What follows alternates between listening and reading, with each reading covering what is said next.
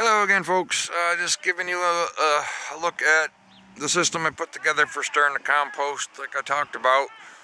Uh, I ended up using a, uh, what they call a gamble system. It's just a series of pulleys at both ends. Actually, I got it at Harbor Freight Store.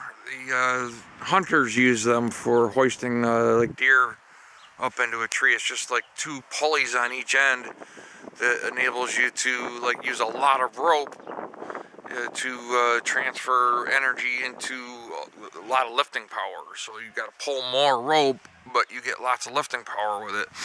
And uh, at each end, I've got a metal rod that goes, it's kind of intertwined into two layers of this uh, snow fence.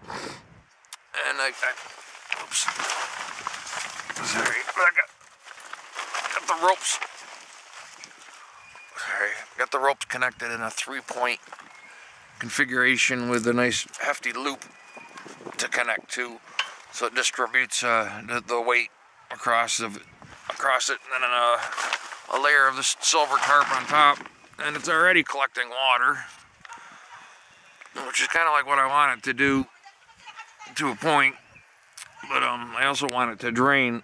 So at the at the far end down there, I'll end up digging it out so that the majority of the water will drain over into the other side of the compost pit and then it'll drain off from there, but one thing at a time. So basically it's just, uh, let's see, get a close-up of a, the double pulley system. Here you pull on this rope, since I just got it tied off right now. You pull on this rope and it pulls through both of the both ends. Right now I just got this hooked. But it'll uh, pull up like this and just roll the compost over onto itself.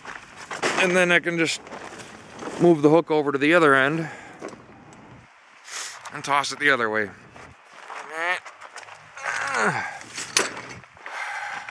Sorry, this is going to be shaky as hell, but I just want to give a before picture before I started loading it up with stuff to show you how it works. Alright? Uh, yeah, that's called a gamble. Just like gambling. That's what the system is called. Alright, that's it for now.